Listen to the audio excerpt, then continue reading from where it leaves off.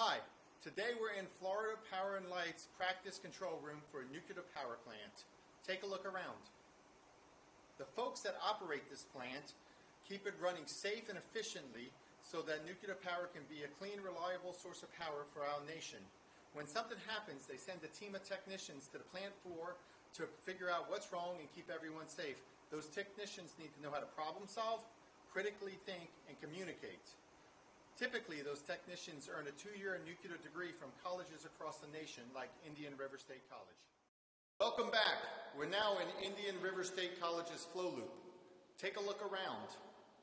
This flow loop is like a miniature nuclear power plant. It has all the valves, pumps, and gauges you'd find in a power plant. Our students, while earning a two-year degree, learn how the system works and how all the components work.